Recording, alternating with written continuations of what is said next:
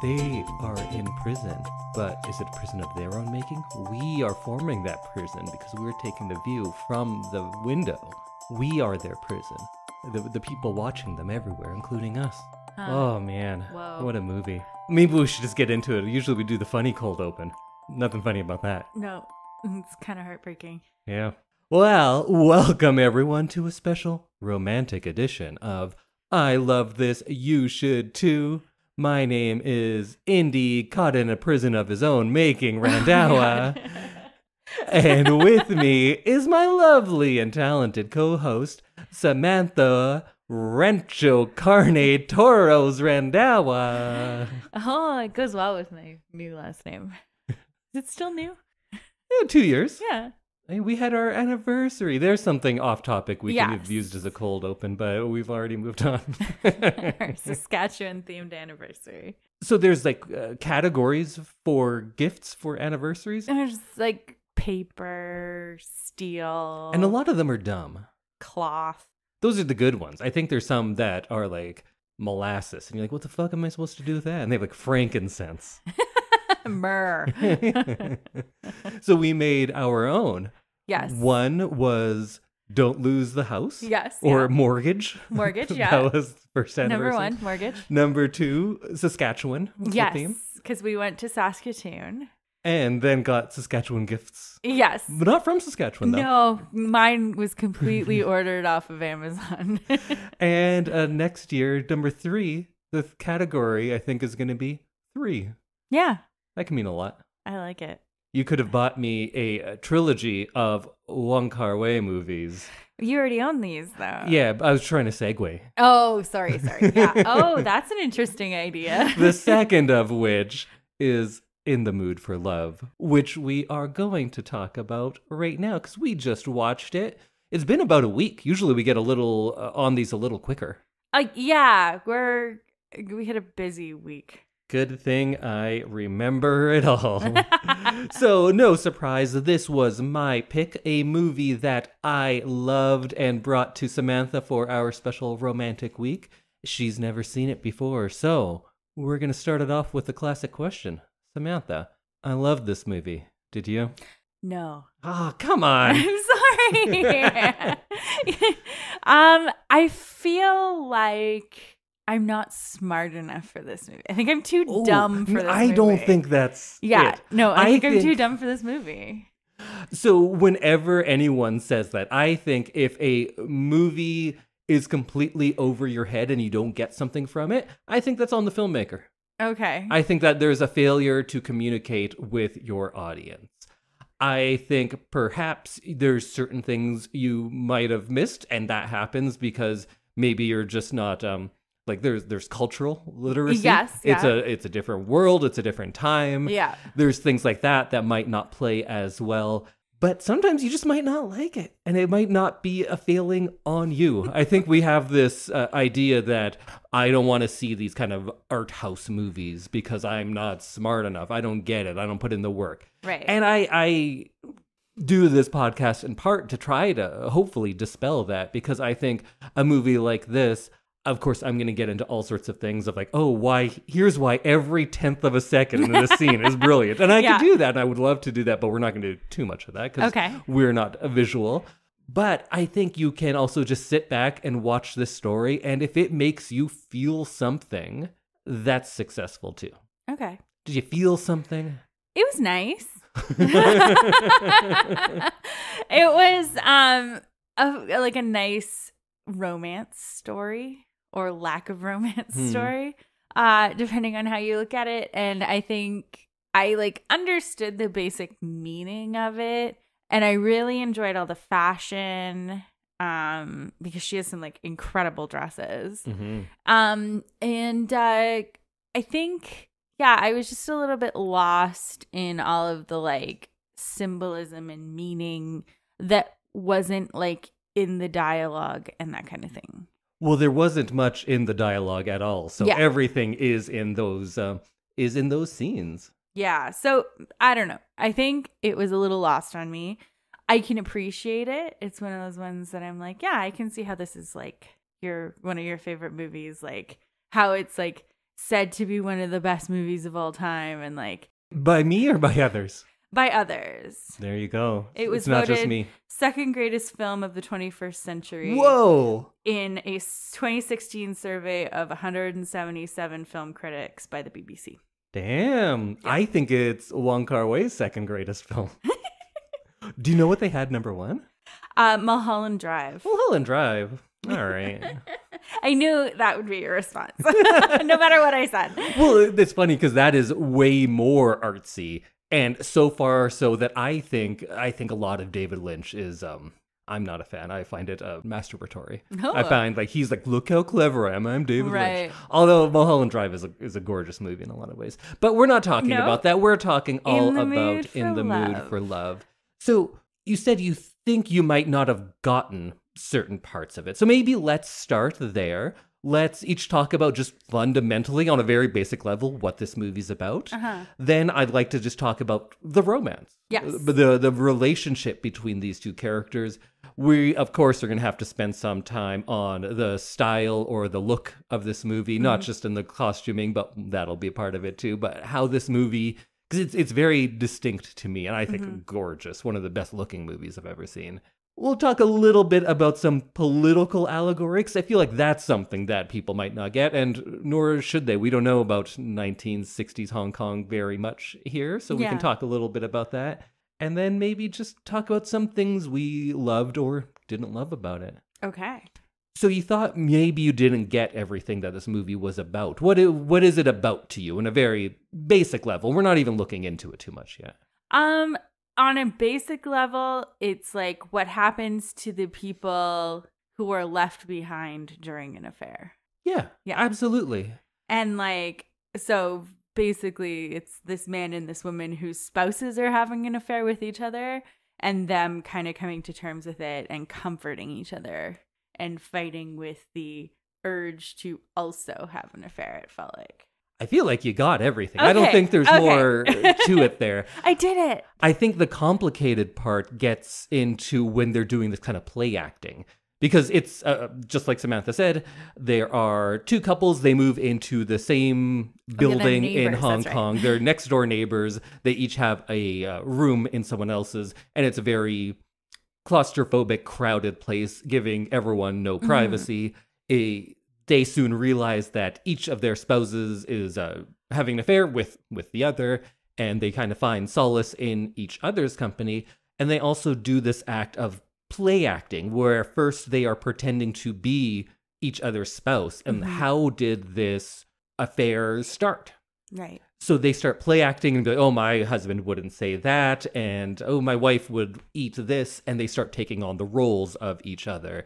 And that gets, and that further complicates things because in certain scenes, we think, oh, he's finally making a move. They're going to be together. But no, Right. he's pretending to be her husband making the move on his own wife. So we get this kind of um, distorted view of what's happening, what we think is happening. And there's a bunch of kind of misleads in that way, Mm-hmm. where a scene starts one way and we think we are getting some sort of fulfillment because I think a lot of us want this couple to get together because we've just been trained by movies to Mm-hmm. Right. to want that Of course, yeah. and we get the the idea that it's going to happen and then we realize no they're not even being themselves now but that goes on for so long that you're not sure which is them and which is them acting Right. It- the line there gets blurry and in addition to that we have time being a big part of it where you're not sure is this the same day? Is this weeks later? Is this months later? Have Mhm. they been doing this for 2 years or 2 weeks? I'm not entirely sure.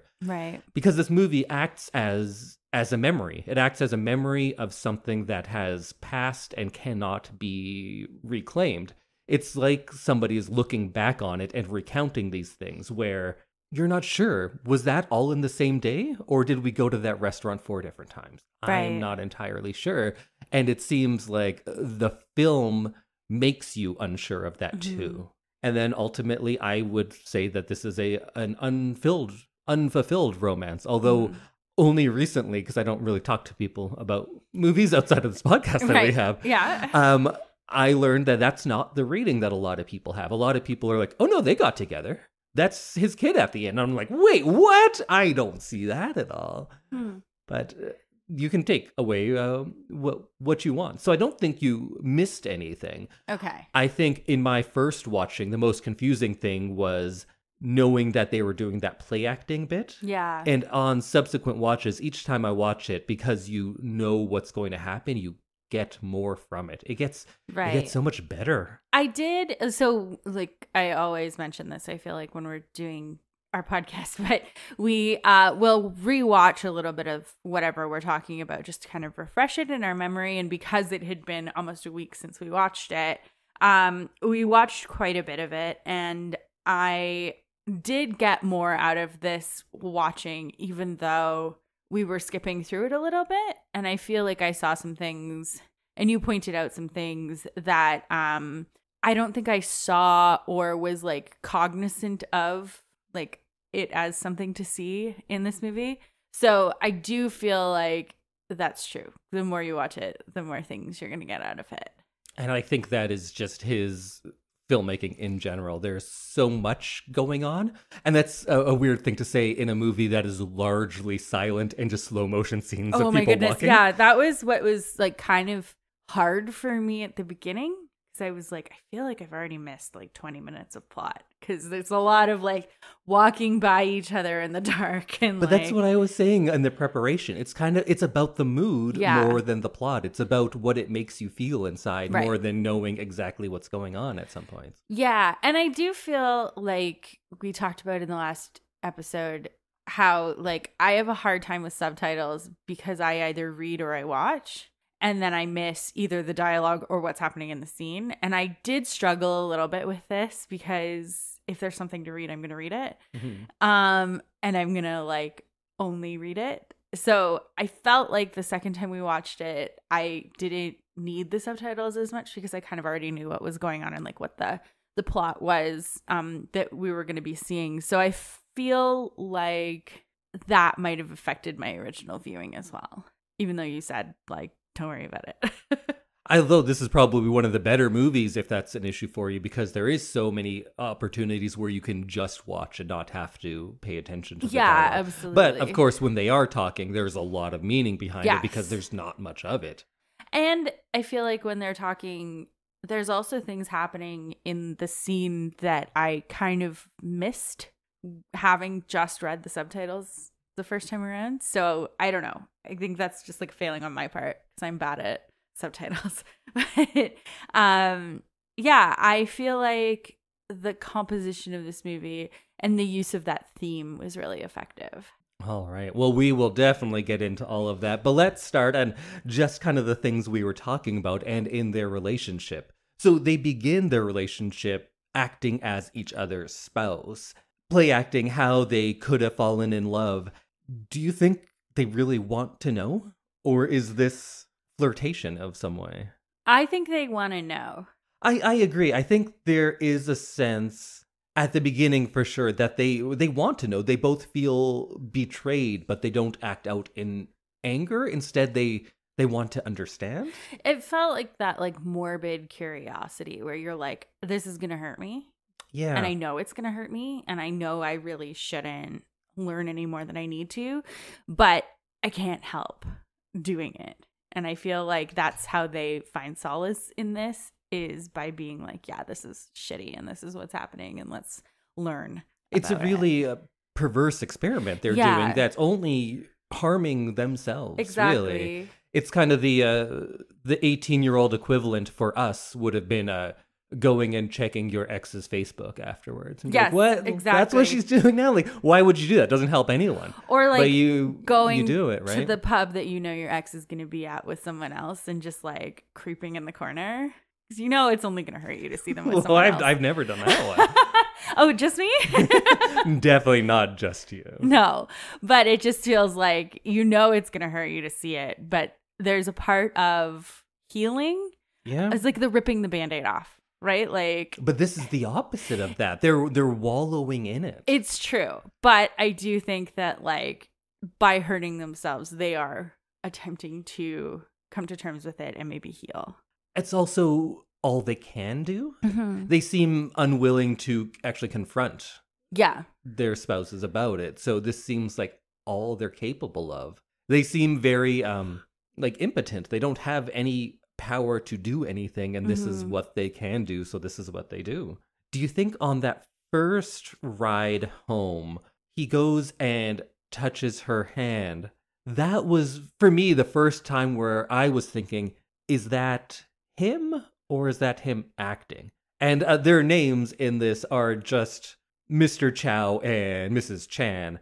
And I'll always get that confused, so I might just refer to them by the actor's name. Yeah. Uh, Tony Leung, who I've talked about before, Yes. is one of my favorite actors to ever have lived, and Maggie Cheung, who is just fantastic in this as well. So I might call them Tony and Maggie every now and then because I keep getting confused who is Chow and who is Chan. Chow and Chan are like very similar names. So I Especially because she was um, Zhen in the last movie. So I said that this was a, a sequel, but like spiritually, okay. she has the same first name, but some. Oh, but that was before she was married. That makes sense. okay. She was Su Li Zhen, and now she's Chan Li Zhen. Okay. Right. Right, because their last names are first names. Right. Yeah. Okay. Mrs. Chan. so. Mrs. Chan. And yeah, so I'll, I might just call them Maggie and Tony. Chan and Chow, very close together. So yeah, just call them by their actor names. Uh, when they ride together, at first I thought, oh, now he is taking the opportunity under the guise of play acting to make a move. And now I'm like, no, that's him being uh, the character. Yeah. I, I don't know. I was a little confused by that because it did feel like there was something bubbling under the surface that wasn't them pretending to be their spouses. Mhm. And I don't know if that's just like other media that I've seen like influencing me on that, but I did feel like that there was something there and they were fighting it because of like morals. Yeah, and they do towards the end express like he says, "I thought I could do this without falling in love, but I Yes. I was wrong."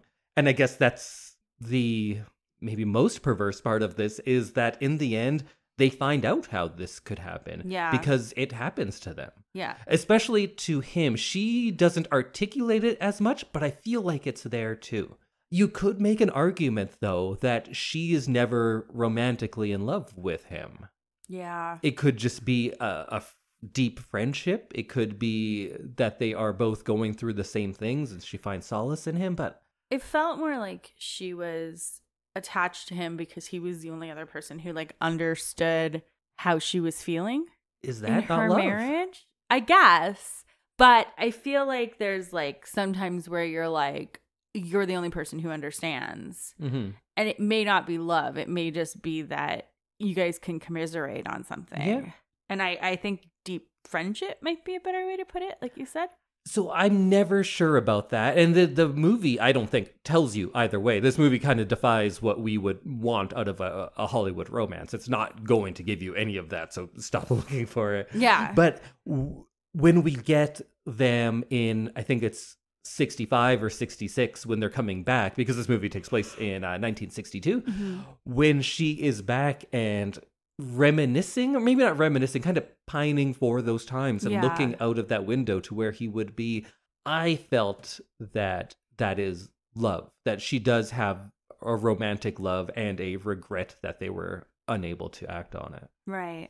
And I guess there's something to be said about movies about the strength of a forbidden love, a, a love that's so strong that it exists despite not being allowed. And I think they are in love by the end, but they can't act on it or even express it because not only is it forbidden by uh, the world around them, Mhm. that would mean being that which they hate. Right.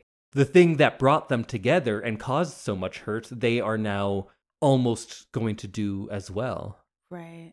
and they know how much that hurts so Yeah. they are i guess you could say they are stronger people than than their spouses because they are willing to not act on it Yeah, and there's a moment in there where it felt like they were both like, well, they did it to us, let's hurt them back. Hmm. And then they decide not to. They they, they like get really close to the edge. hmm and i feel like in so many movies a few that we've discussed on this podcast it's usually quite straightforward that the cheaters are the villains the people who are cheated on are our heroes and they're eventually going to get together and then Mhm. they'll be happy together we see that very very often it's a it's an easy thing to to make work but right. Wong Kar Wai does not work like this, and there's no heroes and villains. If anything, the heroes are on a track to becoming the people that we would think of as the villains, and they just Mhm. have to stop themselves from being that. And occasionally he does those things like commenting on how everyone thinks they're the hero of their own story, but in the end, uh, time marches on, and your big things, what you thought you were the star of, the big important parts of your life, are largely forgotten. That's a part of his his kind of a style as well. Whoa, man. And then I think the other thing that convolutes the romance, in addition to this play acting where we are never sure if someone is being themselves, is the aspect of of time. Because we get all those shots of the clocks and everything, we get slow motion moments, and there are moments I pointed some out to you when we were doing a little bit of a rewatch yeah. that are one scene is actually three or four or five scenes. Because if you look at this movie, you could say, oh, they have about 10 scenes together and that's it. But when you closely watch it, after having watched it a few times, I started noticing that in one dinner sequence, her dress would change. And the first time I saw it, I was like, oh, I caught a little error that they made in the movie. And then I noticed it changed again and it changed again.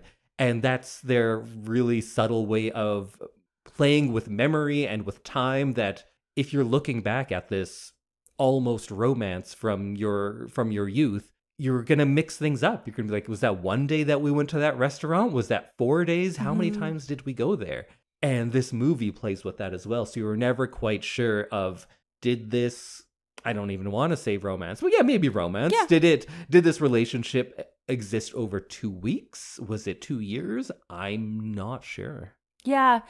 I really like the idea that they kept it in this zone that if any of their spouses had been like, you were seen having dinner with this man, like, what's up with that? And she's like, oh, well, you and his wife travel so much for work. I just thought, you know, maybe we'll have dinner a couple times just to like not be bored and lonely. Mhm.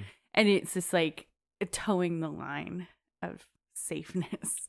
but only if they do it away from everyone Yes. because they couldn't do that uh, even in that kind of downstairs outdoor noodle place that they both go to Mm-hmm. separately and they pass each other on the stairs they can't sit and eat next to each other there they have to go to i assume it's a different part of town Yeah. where they go to that um it's kind of like a western steak restaurant. yeah whatever it is Yeah.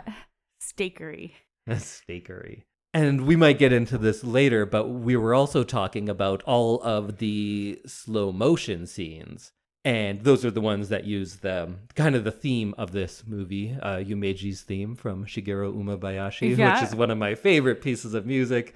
And uh, you've heard it many times. Maybe we'll even talk about that later. Absolutely. But all of those slow motion scenes, we started rewatching um a little bit just now, and I of course couldn't control myself because I'm uh, that kind of nerd. where I was like, "Oh, did you see that look on his face?" And you're like, "No, what?"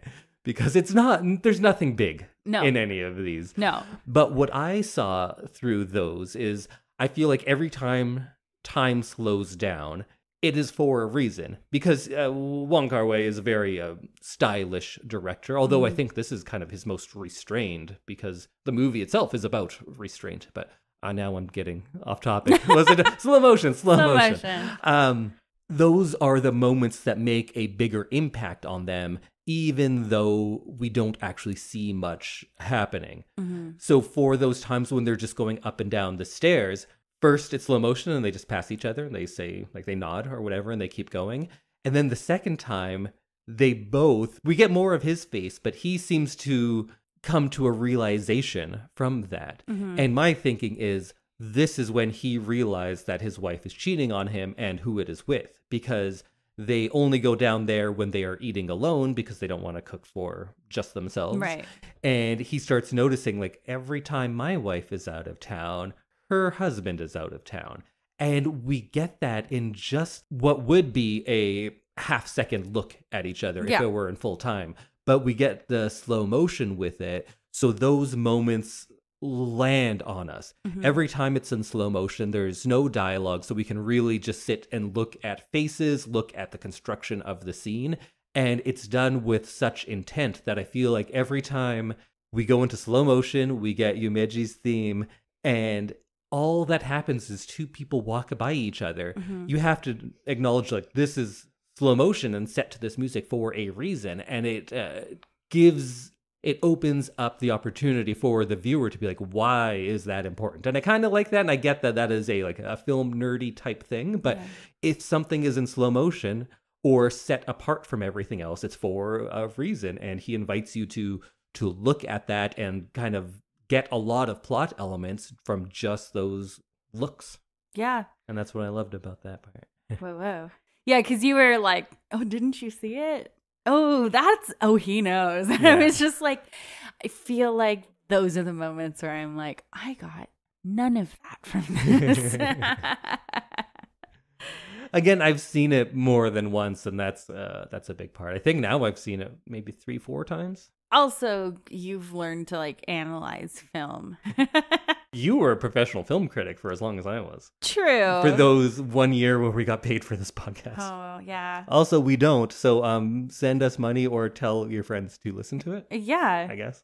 I just like I don't know. I feel like maybe I'm just down on myself here because this is like a very artsy film and I'm not super familiar with that kind of thing. But I think you got most of it. It Yeah. was just these little things of, hey, if you look really closely at that, you can see this and this and this. If you devoted the same uh, time and effort you do to like Taylor Swift Instagram posts, because you dissect every pixel of one of those. True, because they're full of Easter eggs.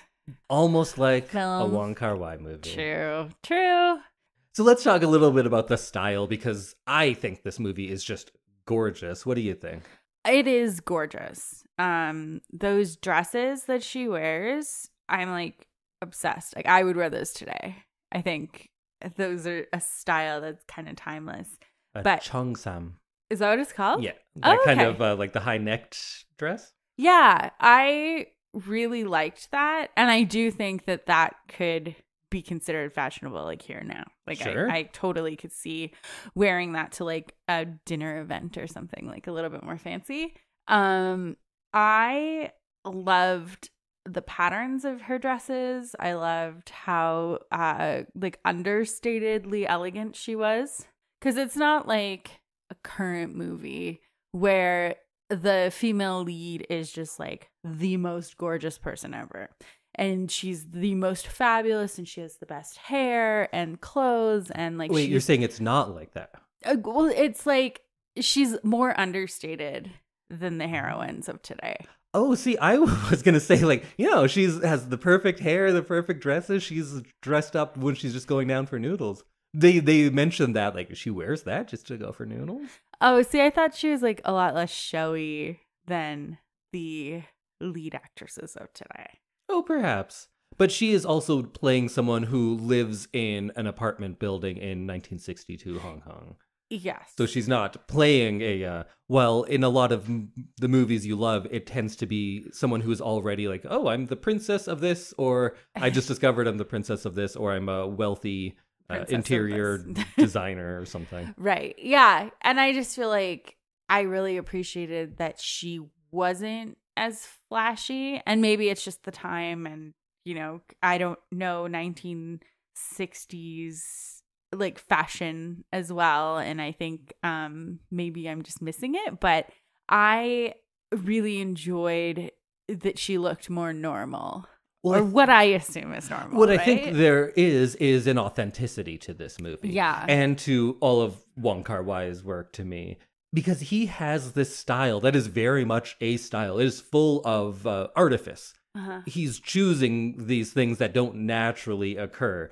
Everything is quite contrived. But for me, what he does still feels authentic. It doesn't feel like a um, Wes Anderson movie. And I, I do like most of Wes Anderson movies, Mhm. but there's an artifice there that you're like, this is a man showing the cool set design mind he has. Right. While I feel like what Wong Kar Wai does is tries to recreate how something felt for him because he grew up in 1960s Hong Kong and he was also a, an immigrant from I'm not sure if he was from Shanghai but he was an immigrant from elsewhere in China and moved to Hong Kong much like uh, Maggie Cheung's character Right. and that's a thing too the, the there's characters who are uh, speaking shanghainese and then there are the uh, Cantonese people, and I think Tony Leung's character is meant to be a native Hong Konger, a, a Cantonese person, Mhm. and that's also a thing that would make their romance more forbidden because it wasn't like cool Shanghaiese people and uh, Cantonese people. Okay. They were still seen as like such separate groups in uh, Hong Kong at that time, so Mhm. that adds another layer to it. But he lived this life, so although I know that the world doesn't look like this because this is everything looks gorgeous to me. Even these kind of decrepit buildings and stairs, it all looks great because of Mhm. how he shoots. I truly believe that that's how it feels because I'm a, a failed photographer in my own right. You're And well, I haven't had a show in a long time but how I edit, I know a lot of people go crazy with their editing. A lot of people do nothing. I tend to be closer to the nothing, and what I edit was not to remove things or touch people up. I remember places being darker or brighter or more colorful, and I like to edit to that because that's how it was in my memory. Right.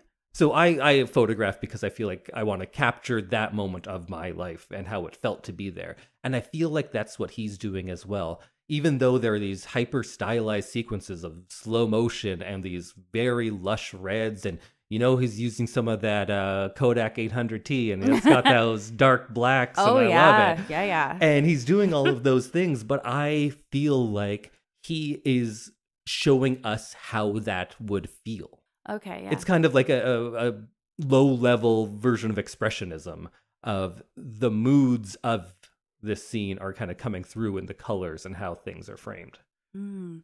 because it seems like we are looking into the real world but this is very stylized so it doesn't look exactly regular but it's somewhere between expressionism and complete realism which i guess is what uh, romance is right Yeah. it's a it's a romantic looking movie but i think the thing we have to talk about because it's probably talked about every uh, film school that talks about this movie is the frames within frames because i think the first 25 shots of this movie are through doorways or hallways and things like that. Yeah, that was really interesting. What did you think of that? So in like we are talking about like the restaurant scene and how her dress changes and that kind of thing, um, which I didn't notice in the first watch. I found it really interesting the beginning of that scene where you're seeing it through another booth and kind of over a little like restaurant like half wall, almost as if someone was seeing them and not like making themselves known. Exactly. Yes! The the frames within frames like when we're in the apartment, why would we be seeing it just through a doorway? Yeah. Because that's how someone watching them Yeah. would see it. And film watching is inherently a, a voyeuristic act, but this is an especially voyeuristic movie because it's that's their biggest fear is being seen by others. Uh-huh. And we are taking on that role. They are afraid of being seen by us. Hmm And it's only those few instances when they are alone that we get to see them not framed by other things. And I know the cinematographer is Christopher Doyle. He's great. He does most of Wong Kar Wai's stuff. hmm And I think there were actually three DOPs listed in this one, but Christopher Doyle is really the one who did most of it. And he talks about uh, Hong Kong just doesn't have that same sense of privacy that the Western world has. hmm And this reflects that. They live in this environment that enforces physical proximity because there just isn't space for everyone, and there's Mhm. so many new immigrants coming. But it also doesn't allow for actual intimacy. So these people have to be so close together, but without ever being private. Right. So whenever we see them, it's kind of through a doorway just because they have this ever present sense and fear of other people seeing them. Yeah. The only times the camera comes into a room in their apartment building is when the two of them kind of get locked into the room together when Yeah. she can't leave. And then when she goes and plays, or maybe just eats with the family she stays with, usually Yeah. we always see that from outside of the frame. But in this case, she said, Oh, I'm not going out. I'll just sit with you guys. Then the camera comes in there because she's not worried about that outside Right. world watching her. Yeah. Yeah. I I didn't clock it as like much as you did, but I definitely had the feeling of a lot of those scenes where it's just them, it, it felt forbidden and like it's being seen by someone who isn't supposed to be seeing it. Like you wouldn't just go up to the booth and say like hello. Yeah. You'd be like, "Oh, I saw Chow and Chen. I saw them together and like I wonder what was happening and like the town busybody almost Mhm. seeing it through a window or seeing it over a booth and like that kind of thing. It felt very illicit and kind of sexier because you're seeing it as if you're seeing something you're not supposed to be seeing. Yeah, and they're just constantly under this uh, threat of gossip, and that's kind of one of their biggest motivators for for how they behave in this. Yeah. The scene you were talking about, though, if I may uh, further analyze that one, because Yeah, I, yeah, I love yeah. that. There's so many.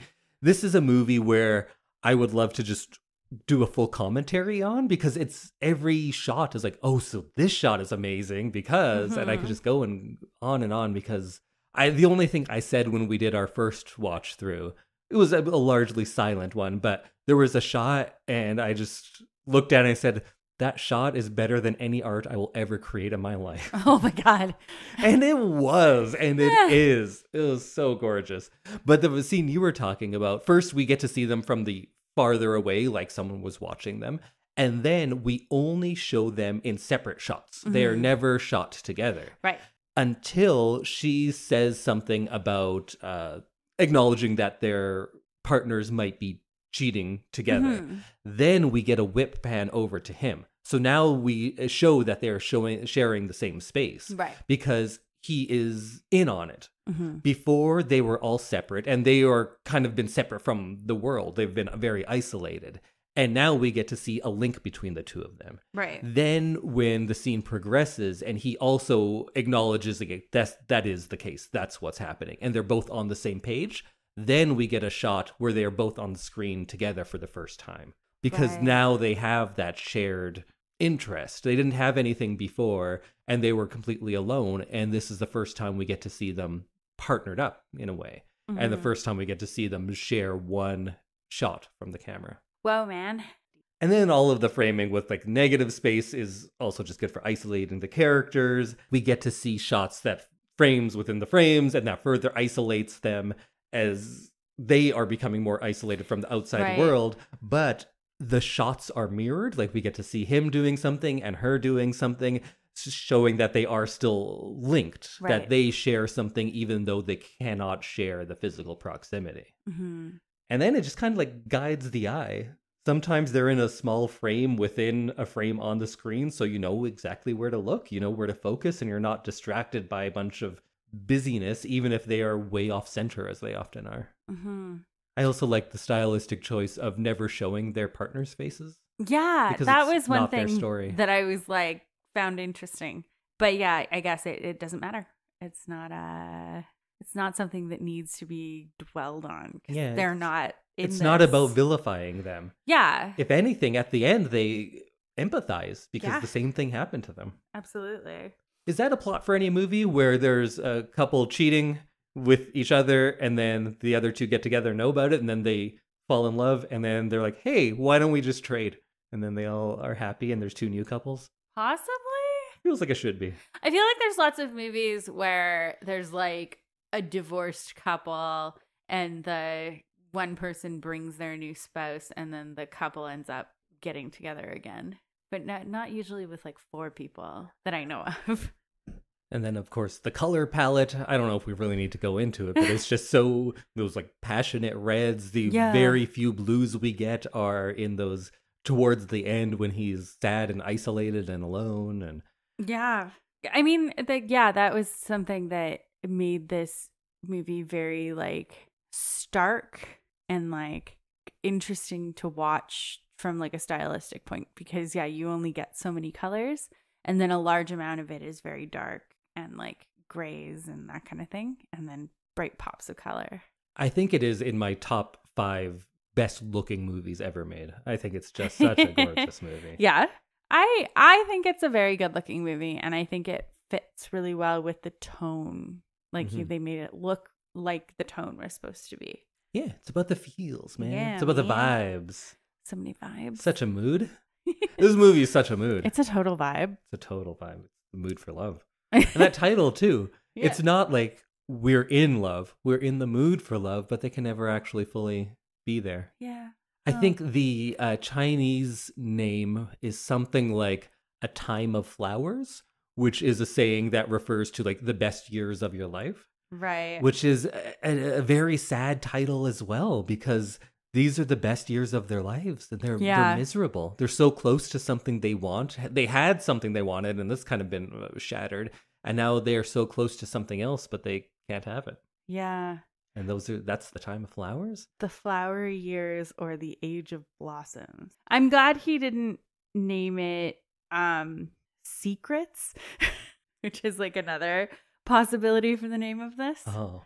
So all uh, titles and plots in a Wong Kar Wai movie is very confusing because the way he works, like on the day, you don't have a script. They work it out as they go. Oh. There was a time where this was going to be uh, more of a comedic movie with a lot of like back and forth witty dialogue between the two. There was a time where there were like four sex scenes in it, and those were shot. And then it became this really solemn movie about not giving in to temptation and finding solace in another hurt person. I don't Huh. know. Because he believes that like this has to happen organically. If I come in with this plan, I'm forcing a vision right. and he doesn't think that's how art works. right. So on the downside, I think this was something like a 16 month shoot for a movie with just like two people walking in slow motion for half of it. That's a long fucking time. wow. But that's how he works. huh.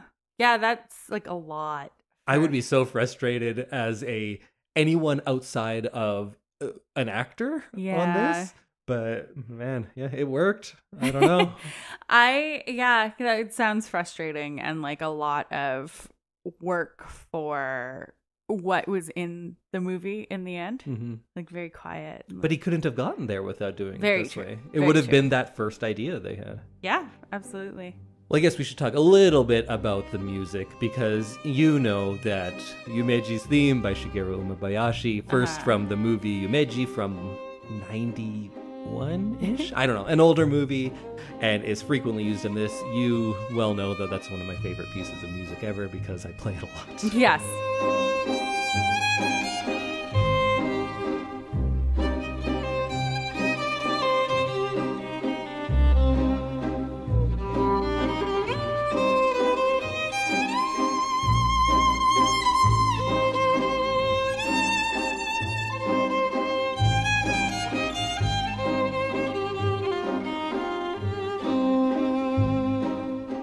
Indy often plays it at bedtime. Shigeru Umebayashi in general, he's a, a Japanese composer. I believe he's still alive and working. He's done stuff within the last few years, so Right. I assume so. He does a lot of good movies. Uh, 2046, which we are going to do Uh-huh. next, he does the theme for that. And oh my god, what a score that movie Am I gonna know that? Okay. Yeah, you probably will. Okay. It's not as big as the as this one in how often I play it, but he did the soundtrack to uh, my favorite video game of the last few years, hmm Ghost of Tsushima. So he Oh, does yeah. a lot of good work. He didn't make the music for this movie, but he did talk with Wong and they said like, "Oh yeah, this would be good." And they talked about it and he put it in here. Hmm. There's a little bit of original music. I think uh, like the sad sad violin stuff at the end which man, that just cuts through me. It was Yeah, the theme is quite sad. yeah, that part was uh, original, and then there's a bunch of Nat King Cole music, and I didn't realize that Nat King Cole did so many Spanish songs. Yeah, that was an interesting inclusion. Y así pasan los días y yo desesperado y tú, tú contestando quizás, quizás, quizás. It was appropriate for the time because there was an influx of Spanish music in the 60s in Hong Kong. And I think they attribute it to Filipino immigrants bringing that along and it kind of uh, being a part of it. But I guess that dovetails nicely with what I want to talk about next of Hong Kong in 1962. Yeah. We'll just do it quickly because I don't really know. I've spent two weeks of my life in Hong Kong, so I'm no uh, no expert by any means. right. But in 1962, Hong Kong is uh, a time and place where independent Hong Kongers, like people who have grown up and lived there, are now mingling with a lot of people who are leaving China because a lot of people are leaving China and they're either settling in Hong Kong or using that as a uh, stop, as a waypoint on their way out. Right. It's a place of transition. It's a place that doesn't fully belong to the Western world or the Chinese world because it's under British rule technically, but it's its own independent thing, but it's attached to China and it's going to be going back to China. So it's a place of transition, just as all of these characters in the movie are in times of transition. And then when we jump forward, it's uh, 1966. And this is, I think, the beginning of the Chinese Cultural Revolution. So a lot of people are now fleeing the communist state of China. Mhm. And now Hong Kong is so much more chaotic. When they return, the landlady, I guess we'll call her, is talking about how, like, uh, we're not sure it's going to be safe here. So we're leaving. The apartment itself is in chaos as well because their apartment is always a microcosm for Hong Kong. Right. Right. It's at the beginning, it is a place, a meeting place of different types of Chinese people who are forced into physical proximity, but without any real sense of privacy. And now, when you come back in 66, it's a place of chaos where people are coming and going. You don't know who is here. Right. And the people who are fleeing China at this point are, I think you could say, more more desperate than they were in 62.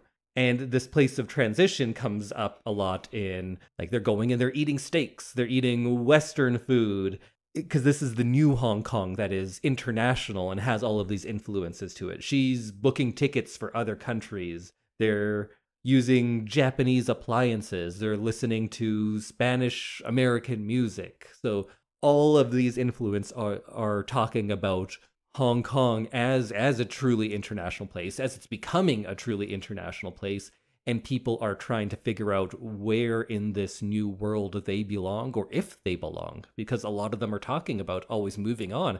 Am I moving on to Singapore or Cambodia or going back to Shanghai? Those themes seemingly always come back in Wong's movies because that's what he is is concerned about, right? That Mhm. was his life. He was someone from I believe Shanghai who then moved to Hong Kong at a very early age and and lived through all of this. hmm I'm curious. I hear his next movie is a Chinese movie, like, a Chinese, like a China Chinese movie. upcoming movie. Yeah. Oh, And I'm worried about that because his movies are about the independent Hong Kong spirit. right. And now he's going to be working underneath the Chinese government. And Ooh, yeah. I'm, I, I'm going to watch it, of course, because he's brilliant, but I'm uh, wary of that. Right. Like with a lot of these movies that I really love, I feel like I'm uh, definitely monopolizing things. How are you feeling? I feel like I don't have much more to add. I enjoyed it. I thought it was a very interesting piece of film. Not an interesting movie, a piece of film. Oh, Um I call them talkies. you do. This is another one where I can like see and appreciate the importance and the artistry that went into this movie. Um I still don't like love it, but I thought it was it was good. I think my advice for people watching if you want to gain an appreciation for this movie, you, you have two ways. You can sit with a notepad and dissect every second, or just get a little high. Just watch it while you're high. high. Kind of feel the vibes of this movie. And you don't even have to read the subtitles, and you'll just be broken at the end because it, it works. Yeah, it is pretty heartbreaking. Well, maybe let's talk about a few of our favorite scenes from the movie to wrap up. Okay. Do you have any that come to mind, or do you want me to start us off? Um, I think the restaurant scene for sure. And the scenes where they're walking past each other up that stairwell in the Right. street, like those were very interesting moments, very loaded and like feeling. Um, I thought the whole dynamic of the the kind of this rooming house that they rent from um was really interesting and I loved all of the like vibrant moments there cuz that was like probably the most lively part of the movie for sure It was with like the mahjong and the um the landlady and all of her comments and everything and it just like I liked those breaks in the movie for sure uh where you get like a little bit of normalcy and how busy life is kind of around them when they're having these moments where they're like like the heavier moments. You kind of get this like uplifting fun moment in the hallway of their house so yeah those were kind of moments that stood out to me I had a big list here, but luckily we've broken down a few of them already, so we don't have to go through all of the. Here's what the slow motion I think is all about. At the end in 66, when they both come back and just miss each other. Uh-huh. Again, they first they just miss each other in Singapore, and then they just miss each other back home, I think. But yeah, there's those two two instances, and how they both go to the window and just look out, like looking for the other person and you watch his face and you see this sadness but then also a, a, longing and he's not longing for his wife. He's longing for this one woman who was the only person that could ever comfort him and he can't see. Yeah. And that was yeah those ones were brutal. Yeah. I loved the um, scene where she is out in the rain and she's kind of waiting under an awning and he catches her there and he's all wet and he says oh wait there i'll be right back runs gets his umbrella brings it back for her and says oh here you can use this and she says well uh, i can't take your umbrella people will know that i have your umbrella and think we were together and he just says something along the lines of like all right well then i'll just wait here with you and they just wait in the rain together. Yeah I that's love... a romantic moment too. Hmm yeah. And i think when you say like oh that's a romantic moment all the things that you feel in that you're getting everything. It's just i sometimes will articulate it. Like i think that Yeah. is especially good because usually when they're shown out there they show them through the bars as if they're in a a, a prison. Hmm and they're trapped in this thing that they have together but the bars are between them still so they're still being separated they're not in the same section of the bar so they're in a Mhm. prison but they're being kept apart until they gain some sort of when i think they actually fall in love because then you see them in the bars again but they are in the same section so now they are trapped but they are trapped together right and then, of course, this isn't a prison. We are seeing it through the windows of one of the buildings. So we are the ones affect. Uh, we and everyone else who watches them. We're the ones putting them in that prison because that's from the window, from the world around them. That's how they see them. So society is the one that's putting them in that prison. And then, of course, when they're under the awning, they can't go anywhere because of the rain in a in a very literal way but they also have the time to just be together. This Mhm. little tiny space is their only privacy. And they're being held there from like the very literal rain, but also we're seeing that that's these little moments on a street being silent next to each other. That's all they have because of the world around them. right So that's why I think the the little rain scene is uh, especially beautiful. yeah absolutely they can't move forward just like their relationship can't Ah. move forward. And then there was that one kind of fake out scene where we think we are seeing her confronting her husband about an affair. But then we reveal that it is Tony Leung's character and he's play acting as the husband. Mhm. And that one I thought was brutal because they do that and they kind of go back and forth and they talk about, like, well, here's how we're, this is going to happen. And then at the end, she breaks down and all she says is, I didn't think it would hurt so much. yeah Because they've been talking about this affair that their spouses are having and they've been trying to figure it out. And they're probably, I think, falling in love themselves. And that's what the Mhm. movie's concerned with. But we don't always get back to like, they are so hurt by this, yeah which is maybe the main reason that they won't go forward. yeah It could be the societal thing of not wanting people what they're going to say, but also they know how much this hurts and wouldn't put someone else in that position. Absolutely, yeah.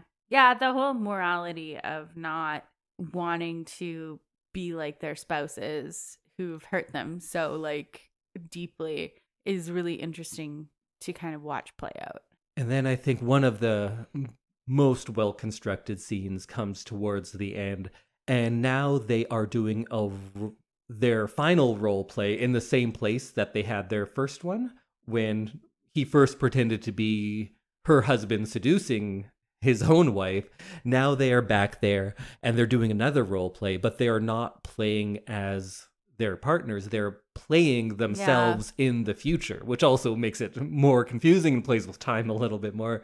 But they are rehearsing saying goodbye, but we don't know it's a rehearsal at first. So we see them part and he lets go of her hand and she almost turns back to him and we see him getting smaller in the background. And I think now the camera is actually playing things at double speed. So it's messing with our perception of time again.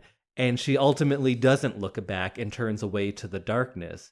And then it cuts to black, something that we hadn't mm. really, I don't know if there was a, a fade to black before.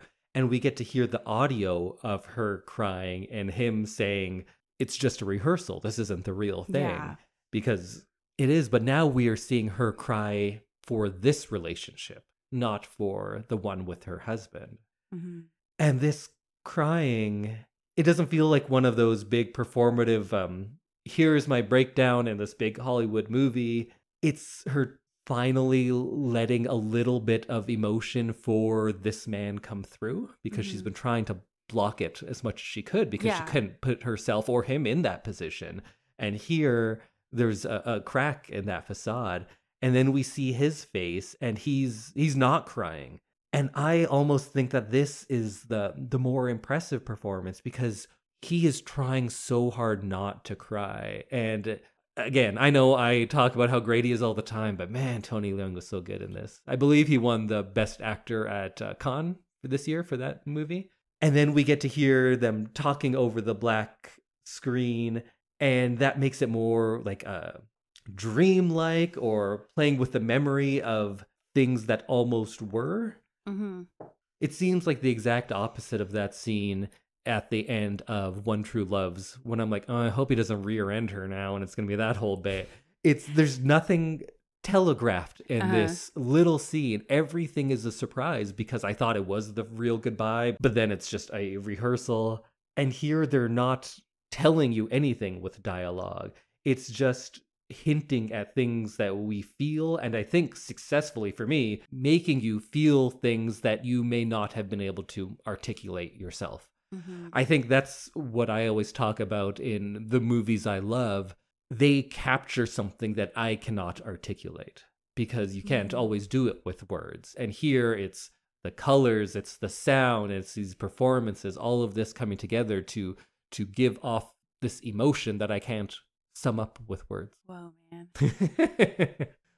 do, do you see any of that? Do you feel any of that? Yeah, I think it's definitely a deeper reading than I got, but I can appreciate all the things that you're saying. And I do feel like upon the second watching, I got a lot more of those things from it, even if it was not quite as deep as you're going. We should probably just go watch it again right now.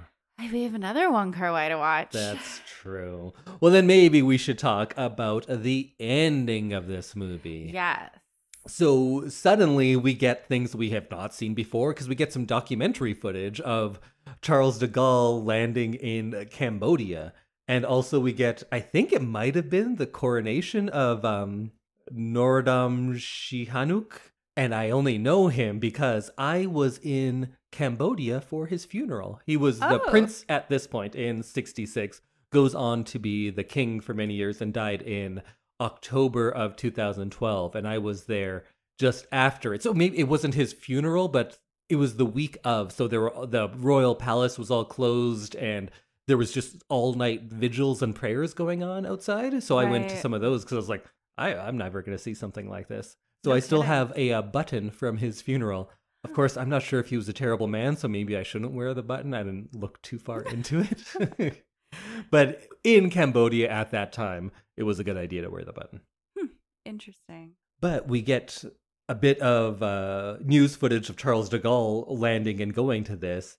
And that was weird, but I guess that kind of talks about this nation influx as well. Cambodia is in a similar way. They Yeah. were um, colonized by the French, and Hong Kong is in a similar state of transition at that point. Of course, this is 66, so just before the Vietnam War, which again is going to further dis- destabilize Cambodia. So that's, I think there's probably a very intentional reason why they went with that. And then we get to him going to the temple grounds. I don't know if that's Angkor Wat itself, but it's definitely one of the Right. temples around there. Yeah, I recognized it as a temple in Vietnam. Cambodia. Cambodia, sorry. That I don't know the difference between all of them, but it definitely looked like that. What did you make of that scene? The first time we watched it, I didn't really understand what I was seeing. Mhm. And then the second time, I like understood with the like crevice and the like grass shoved in there. And like it was kind of romantic, I guess. Yeah, so the what you're talking about, of course, is earlier in the movie he talks about an old tradition that if you have a secret, you go and find an old tree Mhm. and you whisper it into a hole in the tree, and then you pack it up with mud so your secret will never get out. Yes. And here we have him not just going to an old tree, but this thousand year old monument, something that will foreseeably last longer than any tree. I think maybe giving a mm-hmm. little hint that this secret of his, this memory of his, is going to last longer. It's not going to be something that is going to be forgotten. It's going Yeah. to stand the test of time, even though it never came to fruition.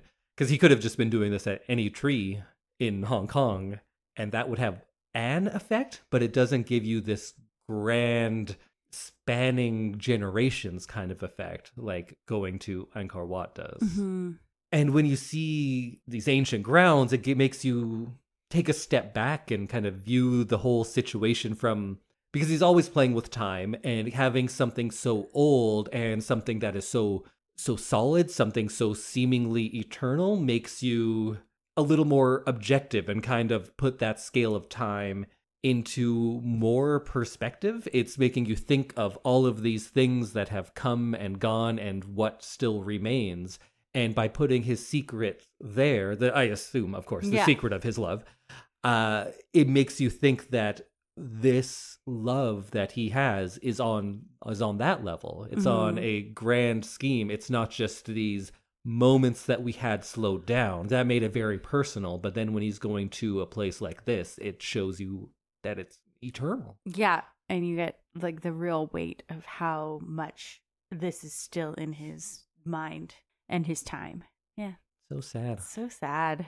Well, it seems like I like the sad romances because earlier we had done the Before trilogy, which is not exactly the happiest. Uh huh. It's sad movies as well, but I think that not just because I love the works of Wong Kar Wai, which I do, because I, I love this movie, but there is something that is just as beautiful as is heartbreaking Mhm. about this movie. Like they had just this amount of time together, whether it was three weeks or two years or something in the middle, and they never got to do all the things that they would want to do, but the love that they had is still with them. I think that's what the end of the Yeah. movie is trying to say. And despite how warped it has become in their memories, it's still there. It's persisted through all this time and they won't forget it. And I think there's something beautiful and not just sad in that. So that's why I love this movie. yeah. So I love this movie. I think it is absolutely fantastic. If you want to go watch it, if you have a, a Criterion subscription, it goes on their stuff. We watched the newly restored restored Criterion version from the Wong Kar Wai box set because that is one of my favorite purchases I made in the last few years. It's Yeah. very good. Go check it out. If you ask me nicely, you might be able to borrow mine. And next week, we're going to keep it going. We talked a little bit about Days of Being Wild in last week's episode, which is kind of the unofficial first part, Mhm. which deals with kind of young love. Maggie Cheung's character was in that. I would argue this is a different character because they don't really behave all that similarly, but they have the same name. Right. And the themes in that one are about those days of being wild, about not treating love seriously. Now we get In the Mood for Love, which I think is the best of the three, which is dealing about kind of the sad reality of love maybe in your later adulthood even though they're not especially old they are they are married so Mhm. it's dealing with love at a later point in life and now we are going to watch and discuss the movie 2046 also by Mm. Wong Kar-wai uh, next week and I've only seen that movie once when it came out. I saw it in theaters. I haven't rewatched it on my uh, new box set, so we're gonna watch that, which I believe is going to be a nice wrap up because it is someone looking back on a history of the loves of their life. It is Tony Leung again. If he's the same character is very debatable. He is a writer. He doesn't seem to act like this character does, though. So I say it's someone new, but we carry on some of those themes. We do get to see Tony Leung and Maggie Cheung together again in this movie with, I think, the same name. So you could argue it's them, but maybe not. Maybe none of it's real. Who knows? Who knows? We will know next week. Next week when we discuss 2048. 46. 46. Which was also the room he was staying in when they were writing together towards the end. Yes. So, and that will be big in next week's movie. Whoa, whoa. Whoa, whoa, everybody. See you next week. Bye.